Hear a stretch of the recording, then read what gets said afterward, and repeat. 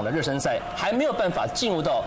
比赛的状态的话，那他不排除做一些人员上的调整。这个球扑得漂亮，恰恰